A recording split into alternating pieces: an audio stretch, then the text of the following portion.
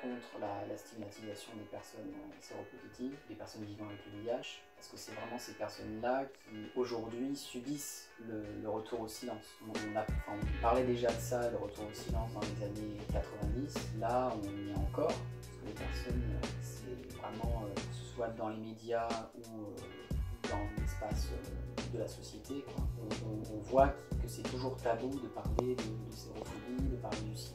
parler de santé, de parler de, sexe. Parler cul à la télé, euh, c'est maintenant devenu un tabou euh, ultime. Quoi. Il faut toujours y aller avec une pincette, il euh, faut toujours faire gaffe aux mots de travers.